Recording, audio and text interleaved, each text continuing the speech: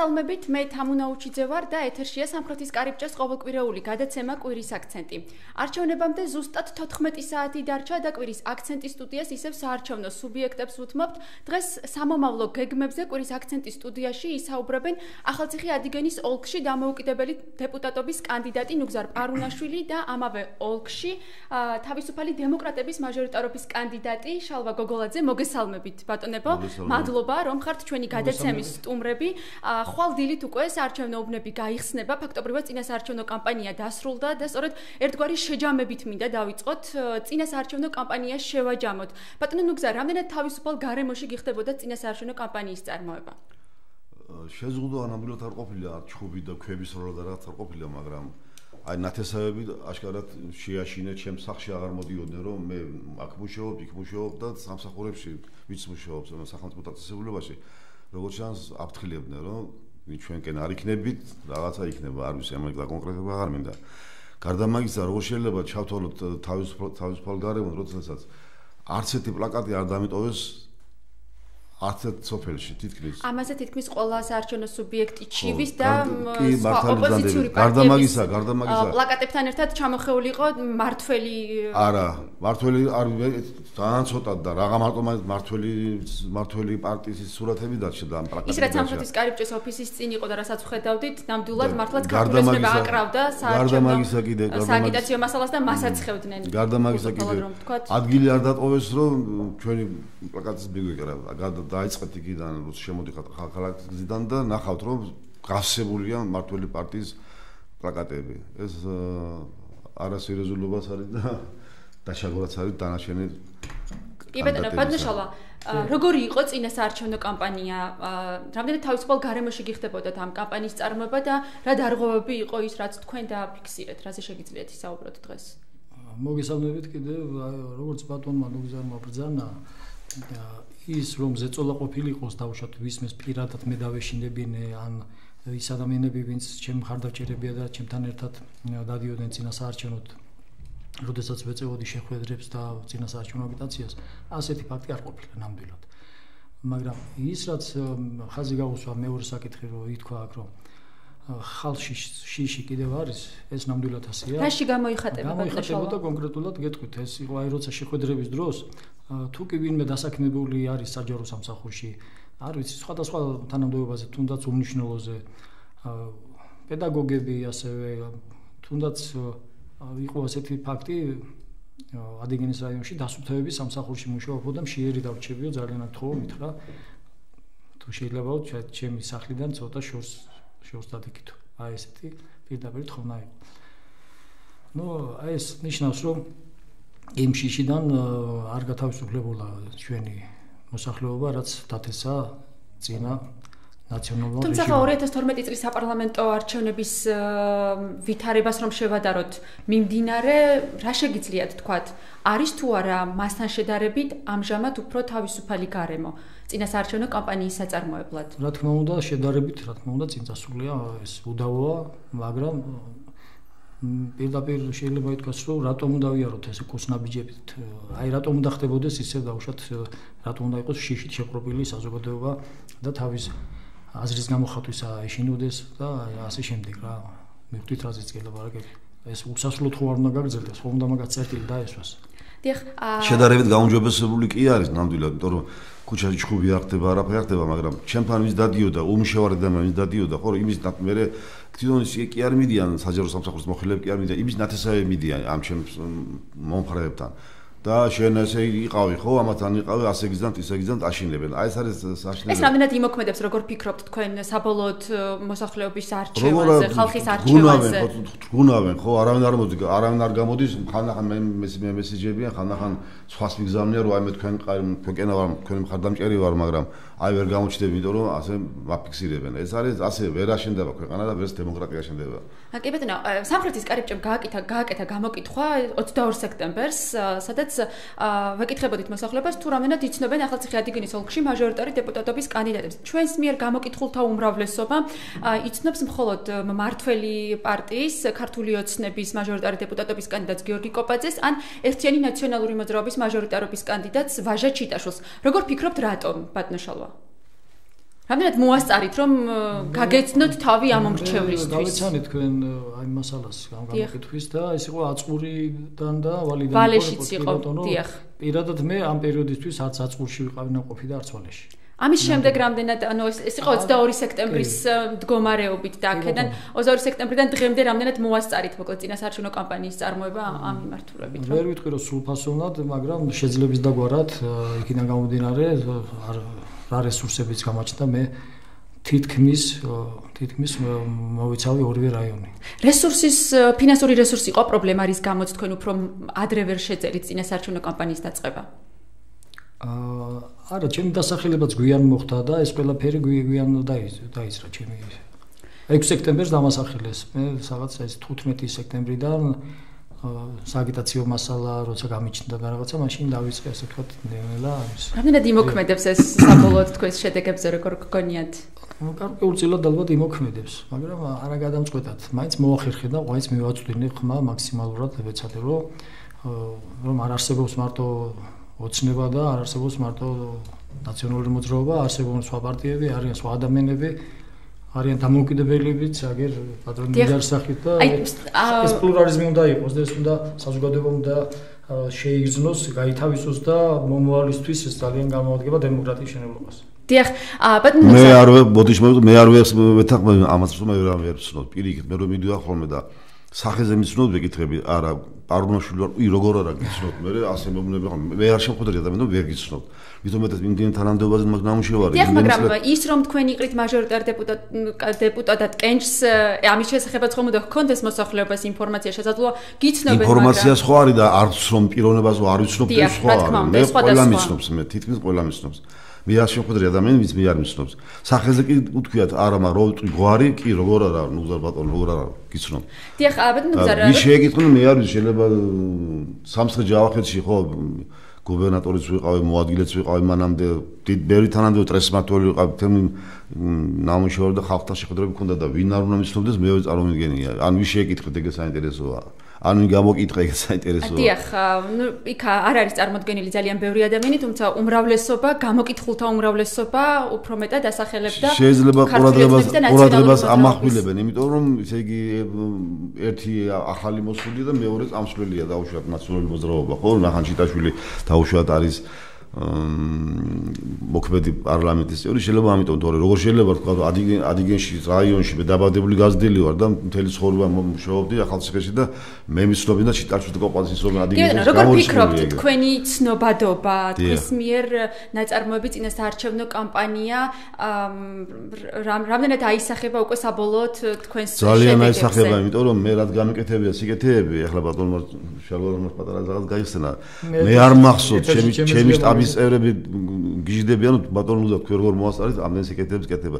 თვითონ მაგონები მოსახლეობა თქო რომ ეს სიკეთე გამიკეთეთ თქვენს მომეხმარეთ ასე და რა ვიცი რა მე მე ძალიან იმედი მაქვს. სხვათა შორის ბევრი კენს ვიყრიდი და ამის იმედი მქონდა რომ მე იმდენს ეკეთე გამეკეთებია ჩემ მოსახლეობსაც რომ ალბათ ახსოვს მეთქი და მართლაც ახსოვ. დიახ როგორც ვიცით თქვენი мотивация გეყარათ დამოუკიდებელ დეპუტატად კენჭი გაჩნდა მას შემდეგ რაც თქვენ შეიძლება ითქვას რომ უარი გითხრათ ქართულმა ოცნებამ გეყარათ კენჭი ქართული ოცნებიდან მაჟორიტარ დეპუტატობის კანდიდატად და როგორც თქვენ მაშინ სამხრეთის კარიბჭესთან აცხადებდით აა მოკლედ ამ მიმართულებით თქვენი კანდიდატურა აქტიურად გან განიხილებოდა თუმცა საბოლო საბოლოო დასახელდა გიორგი გიორგი კოპაძე იცით რა მინდა გკითხოთ თქვენი თავარი კონკურენტი გიორგი კოპაძეა ამ არჩევნებზე როგორ ფიქრობთ? თუ არჩევნები ჩატარდება სამართლიანად ნამდვილად არ არის კოპაძე თავარი კონკურენტი. ვინ არის თქვენი თავარი კონკურენტი? დასახელება შეიძლება ბატონი შალო არ შეიძლება რა ვიცი თქვენ ვინ მიგაჩნიათ თავარ კონკურენტად მე იყოს უსამართლობა მიმაჩნია თავარი კონკურენტად. უსამართლობა არ მოხდეს, დანარჩენი ყველაფერი კარგად იქნება მე ვიცი. ათი როგორც დამოუკიდებელ კანდიდატს მინდა გკითხოთ, როცა მაჟორიტარი დეპუტატობის კანდიდატებს ზურგს უმაგრებს უკან პარტიების რეიტინგები და საკმაოდ ისეთი პარტიები, რომლებიც ცნობადები არიან და მოსახლეობა იცნობს, იყარო კენჭი დამოუკიდებელ დეპუტატად გარკვეულწილად რისკი ხომ არ არის? არა, პირიქით, მე როცა გაიგო თელმა რიგმა პარტიებმა რომ მე თქვა უარი მითხრა ამ პარტიამ, მართლმა პარტიამ ოცნება თითქმის ზარია შეწყვეტილა რომ მოდი ჩემთან, მოდი ჩვენთან, მოდი ჩვენთან ასეთი კაც როგორ გამოგიშვენ და ესენი ასეთები არ მოინტერესებდა. მე ვიფიქრე მე რომ მე მიშევნია დამოკიდებლად ვიყავ კენცი ვიდრე სხვა პარტიას ამოვიფარებ. იმიტომ რომ ჩემი წასული ცხოვრება მაძლევდა იმ საშუალებას რომ ჯობდა დამოკიდებელი ვიყო და ხალხთან იყო მართალი და ხალხთან იყო პასუხისმგებელი. კი პარტია არ მიდოდა. ეს იყო პარტიულობა, მე გონი ზედმეტი თვითსაღება იყო ჩემთვის. მიუხედავად იმისა, რომ ფინანსურად ფიქრობ, რომ ასე უფრო მეტი ხარდამჭერი გეყოლებათ. მიუხედავად იმისა, რომ ფინანსურად ყველამ პირდებოდა და გეხმარებით, მაგრამ მე ვიფიქრე, რომ ასე ჯობია დამოკიდებელი და საფრთხე. რიგით პირველი პრობლემა, რაზეც ყველა მაჟორიტარი დეპუტატობის კანდიდატი, მათ შორის ქალაქის მერობის კანდიდატებიც საუბრობენ, არის ეკონომიკური მდგომარეობა ქვეყანაში და დასაქმება. ბედნაშალო, თქვენ აცხადებთ, რომ როგორც თქვენ ამბობთ, ეკონომიკის განვითარების ძირითადი პრინციპები არის საკუთრების უფლების ხელშეუხებლობა და დაცულობა, ბიზნესის კეთების თავისუფლების უზრუნველყოფა, სტაბილური პოლიტიკური და სოციალური გარემოს შექმნა და ასე შემდეგ. უფრო კონკრეტულად რომ გვითხრათ, როგორ აპირებთ ამ ყველაფრის განხორციელებას და ამ თავარი პრობლემის და სირთულის დაძლევას ქვეყანაში. ნუ ეს პრინციპებია, რაზეც დაფუძნებულია ჩვენ ჩვენი თავისუფალი დემოკრატების პროგრამა ეკონომიკური განვითარების კონკრეტულად მაგის თქმა ახლა ეს პრინციპებიდან გამომდინარე აქ უსაფრთხოებაზე როცა საუბარია თუ ჩვენ არ შექმნით უსაფრთხო გარემოს შიგა უსაფრთხო გარემოს სახელმწიფოში და არ შექმნით მიმზიდველ გარემოს აქ რა თქმა უნდა ინვესტიციებზე ვერ ვისაუბრებთ. არც ერთი ასე ვთქვათ ბიზნესმენი, რომელსაც აქვს სურვილი რომ რაღაცა დაუშვათ და ავანტოს თავისი კაპიტალი და იქიდან რა თქმა უნდა თავისი მოგებაც მიიღოს, არ გადაწყვეტს რომ ისეთ კონკრეტულ ქვეყანაში, სადაც არეულობა, სადაც არ არის სამართლიანი სასამართლო, სადაც სიმშვიდე არ არის იქ და დააბანოთ. ჩვენ ფიქრობთ, რომ აი დავიწყებთ ზუსტად სამართლიანი სასამართლოს შექმნით, ზუსტად სასამართლოს რეფორმით. შემდეგ ბიზნეს გარემო ყველასათვის თანაბარი უნდა იყოს და ხელმისაწვდომი და არ უნდა იყოს ეს დამოკიდებული აცნობებზე, მეგობრებზე და რაღაც ნეპოტიზმზე დამოკიდებული. ყველა ეს ყველაფერი უნდა ჩამოყალიბდეს. უნდა იყოს ობიექტური გარემო და აქედან გამომდინარე, რა თქმა უნდა, ინვესტიციები განხორციელდება. ჩვენ თვლით, რომ 10 მილიარდამდე ინვესტიციას მოვიზიდავთ, გვაქვს მაგის პოტენციალი ამ გარემო ამ გარემოებების შექმნის შემდეგ. რაც რა თქმა უნდა, სამუშაო ადგილებსაც გააჩენს და ასე შემდეგ. დიახ, ბატონო ნუგზარ, თქვენ აცხადებთ, რომ პირველ რიგში ეკონომიკური პრობლემის დაძლევა თავრობის მხრიდან გაცემულ დაბალ პროცენტიან სესხებთან ერთად გადასახადების შემცირებითაც შეიძლება. კონკრეტულად როგორ ფიქრობთ რა გადასახადების შემცირებაზე არ მეთქვია. მე მე ვთქვი, რომ აა უნდა იყოს გრძელვადიანი უმშევრობა დაიძლევა უმშევრობა დაიძლევა მცირე და საშუალო ბიზნესის განვითარებით და პლუს რა ბატონო შალო უნდა იყოს გარემო. აა ჩვენ როში გადავხედავ ჩვენ სინამდვილეში ვინ ვინ ვინ იგებს კონკურსებს და ტენდერებს ყველა მიხვდება რომ აქ არის უსამართლობა. ხო და ეს რას გულისხმობთ რას გულისხმობთ ერთ და იგივე პიროვნებები იგებენ კომას ტენდერებს ხო? ნუ მე ვერ წარმომიდგენია როგორ უნდა გამოიმარჯოს გორელმა ადამიანმა დაუშვათ იმას რატომ? თუ ის კვალიფიციურია რატომ კვალიფიციური ჩვენ გორელის თეორიის სახელმწიფოს მიხედვით რატომ უნდა შევარჩიოთ მე მაგას აყო აყო პირიქით როგორ შეიძლება გორიდან ჩვენ ვზიდოთ ასფალტი და იმას იაფი დაუჯდოთ ვიდრე ჩვენ ადგილზე ყავს კაი სპეციალისტებს აყვას კაი ფილმებს ყავს კარგი და შეარაღებული არიან თანამედროვე ტექნიკით ისინიც ხო? რაღაცა სუნი ვდის რომ რაღაცა ვეღაცი არის დაინტერესებული ამით. შეიძლება გორიდან ვზიდოთ ამდენი ამხელა ტრანსპორტი ამხელა бенზინი და იმას იაფი დაუჯდეთ ვიდრე ადგილობრივ წარმომადგენელს. ეს ხო გამორიცხულია მან შესაძლოა შესაძლამოებელია ეს. და გარემო უნდა იყოს გარემო აი ეს თანაბარ პირობებში უნდა იყოს ყველა და მე კიდევ ვამბობ რომ დაბალ პროცენტიანი სესხები თუ არ გაიცადა გრძელვადიან პერსპექტივაში არაფერ არ გეშველება იქნება თავის ხალხს მოტყუება დიახ, ბედნაშალა თქვენ თავარი რაზეც აქცენტი გააკეთეთ უსაფრთხო გარემოს შექმნა. ამ მიმართულებით რა თუ იქნებით თქვენ პარლამენტის წევრი, საკანონმდებლო ორგანოდან უკვე რა ინიციატივების განხორციელებას ეცდებით? ხომ არ ფიქრობთ, რომ რომელიმე კანონში რაიმე ცვლილებაა შესატანი და ასე შემდეგ, იმიტომ რომ სწორედ კანონით რეგულირდება პირველ რიგში უსაფრთხოების საკითხები ქვეყანაში. ანტიმონოპოლისტური კანონმდებლობის რეალური ამოქმედება და აი მოხმარებათა უფლებების დაცვა. აი რაც ითქვა ახლა აი ბაზარზე სხვადასხვა ფირმების შემოსვლა დაუშვათ, ხო? ვიღაცას არ უნდა აყენებდეს პრიორიტეტულ მდგომარეობაში. აი რაც ბატონო უზარი საფაბძანებდა. არ უნდა იყოს მონოპოლია. თავისუფალი უნდა იყოს, აი სივრცე უნდა იყოს გათავისუფლებული, რათა თანაბარ პირობებში მოექცეს ყველა მსურველი. აი ეს რეალურ ბიზნეს განვითარებისკენ აი ეს მოგცემს და ეს მოგვიტანს. სხვანაირად ჩვენი განვითარება ვერ მოხდება ეკონომიკური თვალსაზრისით, რა თქმა უნდა და ეკონომიკაზეა მიბული, რა თქმა უნდა, მთლიანად კეთილდღეობა. დიახ, თქვენ როგორ ფიქრობთ თვითმართველობასთან მუშაობის საკმაოდ დიდი გამოცდილება გაქვთ? გარკვეულწილად თქვენ შეიძლება ითქვას, რომ საკანონ კანონშემოქმედებით საქმიანობასაც ეწევით, იმიტომ რომ დეპუტატი ხართ ახალციხის საკრებულოში. რამდენად თავისუფალია დღეს ადგილობრივი თვითმართველობა და კონკრეტულად ადგილობრივი თვითმართველობის მიმართულებით? როგორ ფიქრობთ, კანონში რა არის შესაძლებელი? თქვენ რას შეცვლიდით? იმისთვის რომ უფრო მეტად თავისუფალი იყოს ადგილობრივი თვითმართველობა ან შესაძლოა იმის სხვა ხარვის ხედავდეთ ამ მიმართულებით. თეორიულად თვითმართველობა არსებობს, არსებობს საკრებულო, ნუ არსებობს მერია ქალაქში. რატომ თეორიულად ბატონო? იმიტომ რომ ეს ქაღალდებზე ეგრეთებს, კი ბატონო. მაგრამ რეალური თვითმართველობა ალბათ ეს დროში გაწელილი იქნება. მაგრამ არა უვადოთ რა მოქმედებაში ადგილზე გადაწყვეტილების მიმღები რეალურად უნდა იყოს საკრებულო. და საკრებულო არ უნდა აღებულობდეს მითითებას ვინბესგან. ღებულობთ ეს საკრებულო მითითებებს. რა თქმა უნდა, ეხლა ეს ვისგან არის ეს მითითებები ბატონშალვა? ეს იმის ნებასურულზეა დამოკიდებული თუ ვინ არის ადგილზე, ასე ვთქვათ, ლიდერი. ეს არ ვიცი. ჩვენ შემთხვევაში როგორ იყო?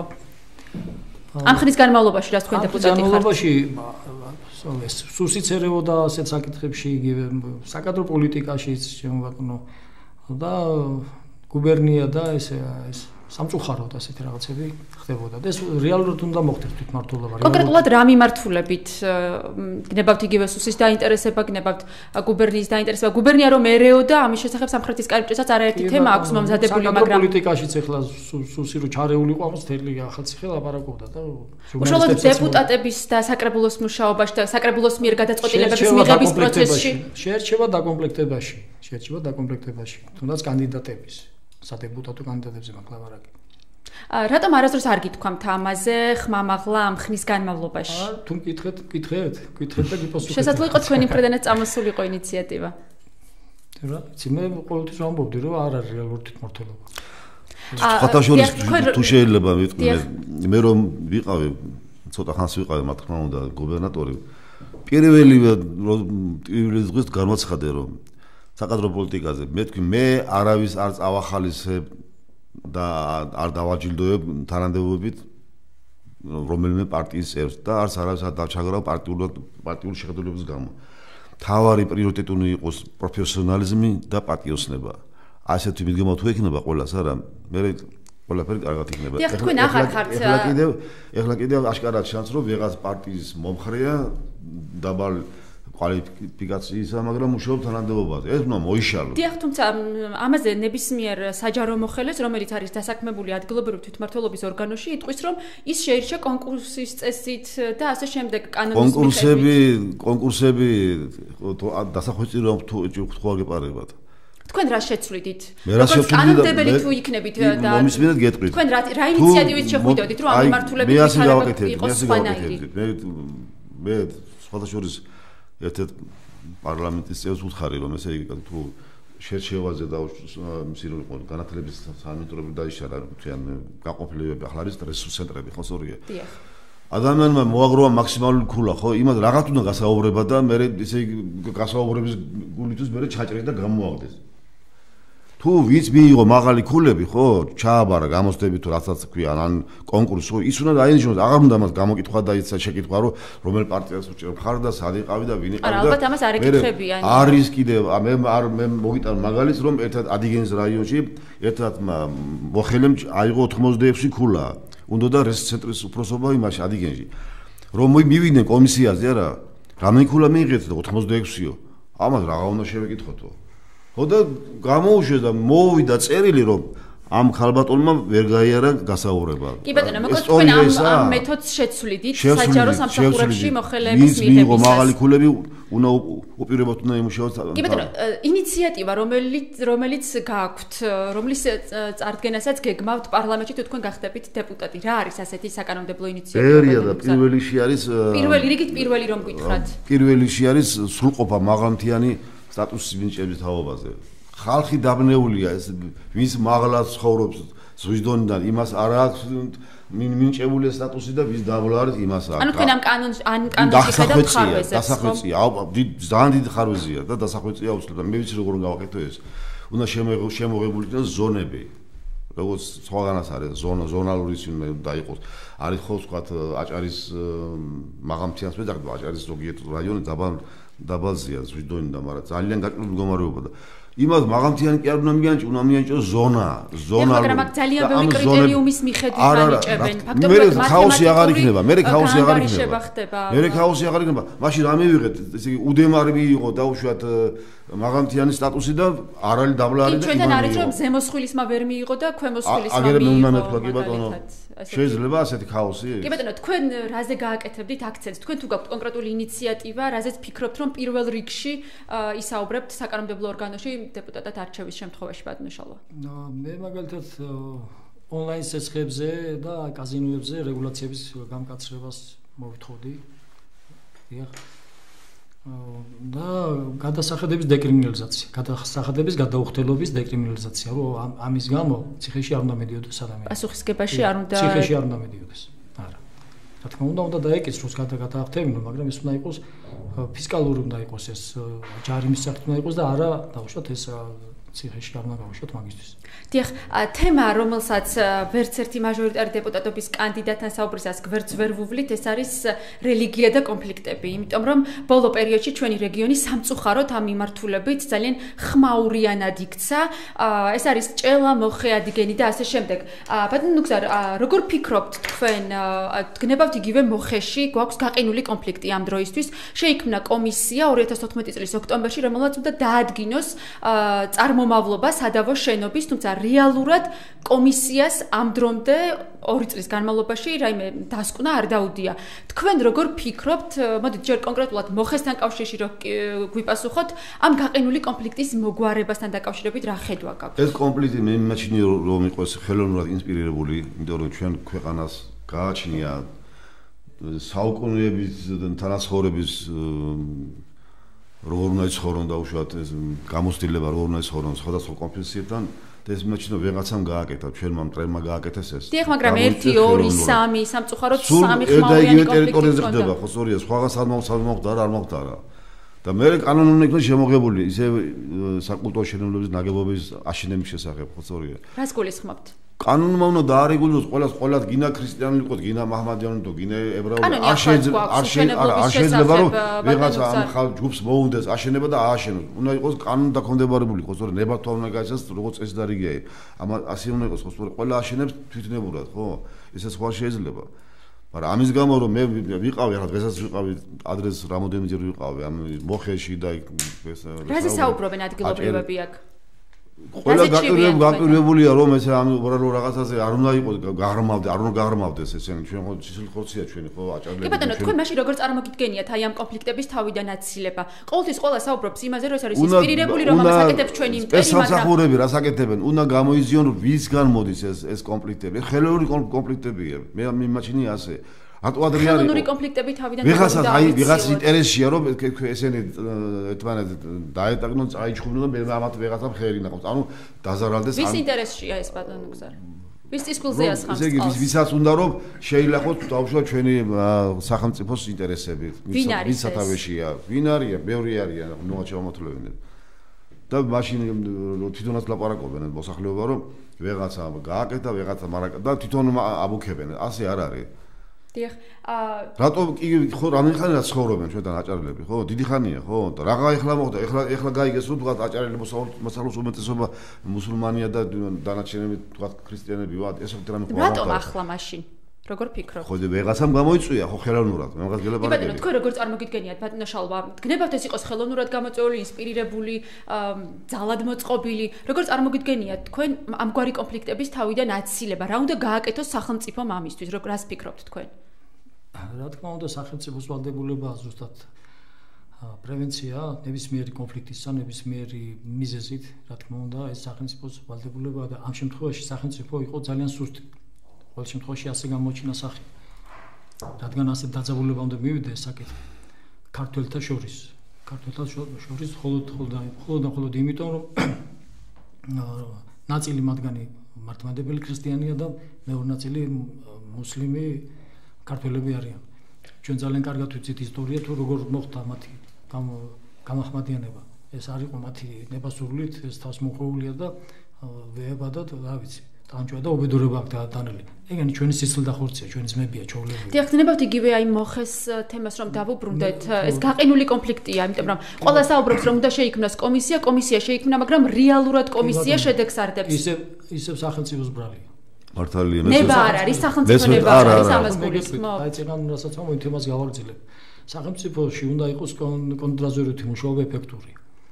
უსაფრთხოება სახელმწიფოს უსაფრთხოებას თუ ამბობთ ჩვენ რაზიეს დაფუძნებული რა თქმა უნდა სპეცსამსახურებზე სპეცსამსახური სახელმწიფოს უსაფრთხოების მიზნით უნდა მუშაობდეს თუნდაც ამ მიმართულებით რომ არ მოხდეს რაიმე კონფლიქტის გაღვივება თუნდაც რელიგიური თვალსაზრისით და რელიგიური აი ნიშნით ხო ამ შემთხვევაში ნახეთ რომ სისუსტეა ეს კონდაზორითი მუშაობა საერთოდ ალბათ არ არსებობს თუ კი ჩვენ ვამბობთ რომ ეს არის ინსპირირებული ხელოვნურად გამოძიება უნდა იყოს მაგიმართული და დაისაჯოს დამნაშავე. სასტრაფო. გამოვლინდეს და დაისაჯოს. დიახ, მაგრამ ამ ამ დრომდე არ ყავს ასეთი არის დასჯილი და არც დანაშაულში გამოვლენილი და რაზე მიუთითებს ეს როგორ ფიქრობ? მიუთითებს რომ სახელმწიფოში კონდაზვერითი მუშაობა არ არსებობს, კონდაზვერი სამსახური არ არსებობს. მაგაზე მიუთითებს. თუ არსებობს, მაშინ დაგვანახეთ რეალური შედეგი. რამდენი წელი გავიდა? უკვე? ორი წელია მე მგონი გასული თუ მეტიც 2013 წელს იყო ჭელას მოვლენა და შემდგომ მოხედა უფრო გვიან ადიგენი დაისაჯენ უბრალოდ ადამიანები რით დაისაჯენ? ესაც სემეს და მაგი დაისაჯენ. ეს არ არის სახელმწიფოს ვალდებულება. სახელმწიფოს ვალდებულება არის რომ გააკეთოს პრევენცია გამოავლინოს ასეთ შემთხვევაში ვინ არის წამქეზებელი ვინ არის შემსრულებელი დაპირისპირებისა რაც ამ შემთხვევაში მოხდა რელიგიური ნიში. სასტრაფო გამოძიება უნდა მოხდეს და დასჯა მკაცრესად. დიახ, თუმცა ამ დროზე იგი გაყინულ კონფლიქტად რო თქვენ მიიჩნევთ და იქ რო შენობა რომელიც გადაუხურავი შენობა რომელზეც ადგილობრივი მოსახლეობა აცხადებს რომ ეს იყო მეჩეთი და მოგვეცით საშუალება ეს რომ მეჩეთი იყო ამაზე ყველა თანხმდება. ხო, ნუ რომ ვილოცოთ ხო? რატო არა სახელმწიფოს ნება აქ რაშია საქმე? რაღა ვეღარ გამოიძიეს. თუ რამე გათხრებია ეს გასაკეთებელი გათხარო და ნახო დაარწმუნონ ისინი უთხრან რა ძველი ნაეკლესიარია და რა ვქნათ ბოდიში და მოდი იცი რა ვქნათ რაღაც შეთანხმებაზე მივიდეთ. ეხლა ზებნაკი მეჩეთია და ბლა ეკლესია და არ არის ის ხალხი შეუგნებელი გაიგებს. მაგრამ ეგრე არ არის ალბათ რა. და კეთილი ინებონ და ისე დაარეგულირონ რომ კონფლიქტური სიტუაცია განიმუხტოს. ისინი ამბობენ რომ ჩვენ ძმებივით ცხოვრობდით. 36 წელი კი ბატონო ძმები ვიყავით ჩვენ ერთმანეთთან. არავითარი ნიშნით განსხვავება არ ყო კი ბატონო მოკლედ თუ შეიძლება და სხვა საკითხზე უნდა გადავიდეთ. მე ვიყავით ერთ სოფელში და თქვენს რომ ერთი აუნყოფი იყო ქრისტიანი და თვითონ ქრისტიანი ადამიანი ლაპარაკობს რომ მე რომ მიდიოდი ქალაქში ორი ისე ჩემი მაჰმადიანი ძმები იმ კი რა თქმა უნდა ისინი კეთილმეზობლურ ურთიერთობებზე დღემდე საუბრობენ. ძალიან გაკვირებულები არიან ჩვენ აქამდეა ყოფილი ამისთანა დიახ ბატონმა შალვა მოიყვანა კიდეც მაგალითი რომ ერთ-ერთი მუსლიმის ოჯახში ქრისტიანები ეხმარებოდნენ თუ პირიქით იყო რომ თუ პირიქით იყო ნუ რა მნიშვნელობა აქვს მე კი მქონდა ესეთი ისა ჭელაში ვიყავი ასული ეს წინა სააგიტაციო როცა დავდიოდი ჭელაში მოხდი სახლის შენებლობაზე რომ 30-მდე ადამიანი იყო შეკრებილი ეს ძალიან სასიამოვნო ფაქტია. რა თქმა უნდა ჭელა ჭეჭლა და საერთმია სოფელი აი ახალგაზრდობა მთელი მოსული იყო და ისე აი მე სიამოვნა რა ძალიან გამეხარდა იმიტომ რომ ვიყავი დატვირთული ძალიან ცუდი ნეგატიური ინფორმაციით რომ როგორი დაძაბულობა ზემოთ სოფლებში და აქ ერთმანეთის გვერდი გვერდზე რომ შევდით. დიახ, რა თქმა უნდა. შემდეგი საკითხი, რაზეც მინდა გადავიდეთ და რა ჩვენი გადაცემის დრო იწურება, ბატონო გზარ, ბატონი შალვას და მისი პარტიის ხედვა ვიცით ქვეყნის საგარეო კურსთან დაკავშირებით, თუმცა ბატონო შალვასანაც გვექნება ამასთან დაკავშირებით შეკითხვა. თქვენი პოზიცია გვაინტერესებს, პარლამენტის ერთ-ერთი მთავარი ფუნქცია ეს არის განსაზღვროს ქვეყნის საგარეო კურსი. აა თქვენ როგორ ფიქრობთ, უნდა ისწრაფოდეს ქვეყანა ევროატლანტიკურ სტრუქტურებთან ინტეგრაციისთვის თუ მაინც რუსეთთან ურთიერთობის დალაგება ხდება უნდა იყოს რიგით პირველი დიდი ხანია განსაზღვრულია. ორიენტაცია ეს არის დასავლური ორიენტაცია ამას ალტერნატივა არ გააჩნია. ამის შემოbrunება ეს არის უზარმაზარ ხარჯებთან დაკავშირებული უზარმაზარ ზარალთან დაკავშირებული ხო სწორია პოლიტიკური იქნება თუ რაღაც და თანაც ხო გეუბნებიან ჩვენი მოკავშირეები. კი მოდიხარ მისგან ახვიდეთ დასავლეთისკენ ორიენტაცია უნდა იყოს მაგრამ თამასთანავ გეუბნებიან რომ საერთოდ უნდა გამონახოთ რუსეთთან ხო როგორ წარმოგიდგენიათ სწორედ ევროპასთან ინტეგრაციის ფონზე რუსეთთან ურთიერთობის დაავარდება? დავარწმუნოთ რომ ჩვენ დასავლეთ დასავლეთთან ჩვენ ურთიერთობა არის ჩვენ უსაფრთხოებისათვის და არა რუსების საწინააღმდეგო. სწორედ ეს აღიზიანებს ჩვენს ჭრილოელ მეგობრებს. რუსების საწინააღმდეგოდ კი არა, ჩვენი უსაფრთხოებისათვის საჭირო. ამას მუშაობა უნდა, დიპლომატიური მუშაობა უნდა, უზარმაზარი ძალისხმევა არის შესაძლებელი და მივაყეთ მე მგონი იმას, რომ დარწმუნდებიან, რომ ეს ხალხი ჩვენი ინტერესები არ არიან. კი ბატონო, ბატონშალო, თქვენ როგორ წარმოგიდგენიათ, ჩვენ ვიცით თქვენი პოზიცია, რომ თქვენ მიმართული ხართ ევროატლანტიკურ სტრუქტურებთან ინტეგრაციისკენ, ფიქრობთ, რომ ქვეყნის ნათელი მომავალი სწორედ ეს გზა, როგორ ფიქრობთ, კურსის შეუცვლელად რუსეთთან ვითარების რეგულირება რამდენად არის შესაძლებელი? შესაძლებელი არის, რა თქმა უნდა, შეიძლება ეს არ მოხდეს ერთ და ორ დღეში და ძალიან მოკლე ვადაში, მაგრამ შესაძლებელია მოლაპარაკებების გზით აუცილებლად თავისუფალ დემოკრატებს კონკრეტული გეგმაც აქვთ ამასთან დაკავშირებით ამ მოლაპარაკებებში, პირდაპირ მოლაპარაკებებში გერმანიის გააქტიურებისა და გერმანიის ჩართვასთან დაკავშირებით. ამასთან მიმართებაში თავისუფალ დემოკრატებს ნამუშევარი აქვს გერმანიის მაღალ წარმომადგენლებთან და აი ეს ასე ვთქვათ, ასეთი ნახაზი არსებობს, რომ ჩვენ გერმანიის მხარდაჭერით გერმანიასთან ერთად რუსეთთან ვილაპარაკებთ. კი ბატონო, როგორ ფიქრობთ თქვენ პარლამენტში თუ იქნებით უმცირესობაში, რამდენად შესაძლებელი იქნება თქვენი ინიციატივების მხარდაჭერა? ჩვენ ინიციატივები სახელმწიფო ინტერესებიდან გამომდინარეა და ხალხის საკეთილდღეა და იმეც ვიქნებია, რომ პარლამენტში გონიერება იყოფათ. და იქნება მხარდაჭერილი კი ბატონო გზარ თქვენც რომ გვიპასუხოთ თქვენ მithumetes დამოუკიდებელი დეპუტატობის კანდიდატი გყავთ თქვენ მხოლოდ ერთი კაცი იქნებით პარლამენტში თქვენ როგორ წარმოგიდგენიათ ამ მიმართულებით მუშაობა. შეიძლება სხვაად გაიმარჯოს ვინ ის ახლა მარტო მე რა დატო იქნება უმცირესობას როცა განვიხილოთ ყველაზე უფრო უმცირესობა მაინც თქვენ იქნებით ჩემ მოვალეობა ის იქნება რომ დავეხმარო ხალხ ჩემ ხალხს ხო სწორია მიიღოთ კანონ კანონები და კანონ პროექტები რომლებიც გამოადგება ჩემ ჩემ მოსახლეობას ჩემ რეგიონს თუ უკეთეს შემოთავაზებ მთავრობა და დარწმუნდები რომ მთავრობის შემოთავაზება უკეთესია დავით ახმები თუ არა ისინი უნდა თქვენი ინიციატივის გატანა რამდენად მარტივი და ადვილი იქნება? თუ და რამდენად იქნება მხარდაჭერილი? თავარი არის სწორი და სამართლიანი იყო თორე. უნდა იყოს ჭკვიანი და გადაწყვეტილი თორე. ისე რაღაცა ბოდიშ და სულელულად დაწერე ვინ დაგიწერ ხასო სწორია კი ბატონო ეს ხო ჩემი პირადი ინტერესი ხო არ იქნება ეს იქნება ინტერესი და გამომდინარე იქნება საკითხი იქნება გამომდინარე ჩვენ რეგიონიდან ხო სწორია კიდევ მეორე თუ უკეთეს შემოთავაზებ მთავრობა ჩემ ამ იქნება თქვენი მხრიდან მხარდაჭერილი.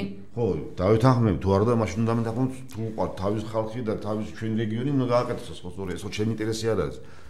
კი ბატონო. მე კითხავს და მე კანონ პროექტი შემაქ ჩემი კუთხის ინტერესისაც ხო სწორია და არა ჩემი პირადი ინტერესისაც. გასაგებია. მოკლედ სამწუხაროდ ჩვენი გადაცემის დრო ფაქტობრივად ამოიწურა. ბოლო შეკითხვები მინდა დაგისვათ. სულ რამდენიმე საათი უკვე საარჩევნოებები გაიხსნება. მოქალაქეები ხმის მისაცემად მივლენ. რა მოლოდინი გაქვთ ბატონო შალვა? მოდით ესე რომ გვიპასუხოთ, როგორ ფიქრობთ, დაინიშნება თუ არა მეორე ტური ამ არჩევნებზე ჩვენთან? ფიქრობ, რომ დაინიშნება. კი, მეორე ტური დაინიშნება. მე ასე ფიქრობ, რამოდენად. ზოგადად რა მოლოდინი გაქვთ რამდენად შვიდ ვითარებაში ჩაივლის გნება ვითარების მოლოდინი მე მოუწოდებ მოუწოდებ ამორჩეველს მოუწოდებ პოლიტიკურ პარტიის წარმომადგენლებს და თითოეულ კანდიდატს რომ მაქსიმალური სიმშვიდით გავატაროთ ეს არჩევნების დღე და რამე პროვოკაციას არ წამოვიდეთ მადლობა ბატონო გზარ თქვენ რა მოლოდინი გაქვთ უკვე ხვალინდელ დღესთან დაკავშირებით როგორ ფიქრობთ? მე მიმაჩნია რომ არ იქნება დემოკრატიული არჩევნები არ იქნება.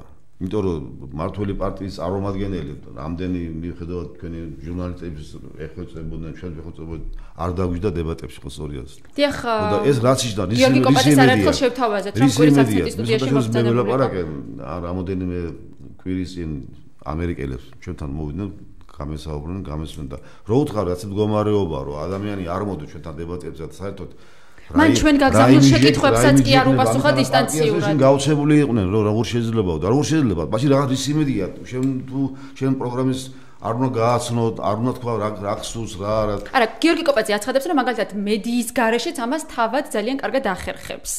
და არ მიაჩნია მას ეს ყველაფერი საჭირო. კითხვა, ბატონ შალვასაც მაგათ მასთან კითხვა, მე მაგითხვა სხვასაც. როგორ ფიქრობთ, რატომ არ პასუხობს ის არავის? რატომ არ გამოდის კონტაქტზე თქვენ როგორ ფიქრობთ? თქვენ რა რას ფიქრობთ ამასთან დაკავშირებით? არ ვიცი, შეიძლება არ ყოფილიყო მომზადების დონე, ან სხვა რაღაცა არის, მე ვერ გეტყვი მაგას. როგორ შეიძლება რომ არ გამოვიდეს ტელედებატებში არ გამოყვეს ხალხს, ხო სწორია? კი ბატონო, თქვენ ფიქრობთ რომ მეორე მეორე ტური იქნება? იქნება თუ არ გაყალბდა რისიც მეშინია. მე კიდე აღამთვლი ახლა ვიმეორებ, ჩემი მთავარი გაყალბების ვარაუდის საფუძველს რა გაძლევთ? ჩემი მთავარი კონკურენტი იქნება უსამართლობა. თუ სამართლიდან ჩაივლის არჩევნები, მეორე ტური ალბათ სავარაუდოდ იქნება და მეორე ტურში მე გადავალდა. ესე წამს მე. კარგით, მადლობა. მე ორივეს წარმატებებს გისურვებთ, როგორც მოვისმინეთ, ჩვენი გადაცემის სტუმრები საპარლამენტო არჩევნებზე მეორე ტურს პროგნოზირებენ. მე კიდევ ერთხელ შეგახსენებთ, რომ კვირის აქცენტის სტუმრები იყვნენ ნუგზარ პარუნაშვილი და შალვა გოგოლაძე, ახალციხე ადიგენის მაჟორიტარი მაჟორიტარულ ოლქში მაჟორიტარი დეპუტატობის კანდიდატები. მე მომავალ პარასკევამდე გეშვიდობებით, გმადლობთ რომ გვიყურეთ და გმადლობთ რომ გვისმენთ. ნახვა. შეგვიძლია თუ ბატონებს მინდოდა მადლობა მოუხადო ეთერში. აი იმისთვის რაც ეხან თქვი თუ არის მაგის საშუალება? დავასრულეთ თუ შეიძლება ბოდიშს გიხდით. ნახვამდის. კარგი ეს მინდოდა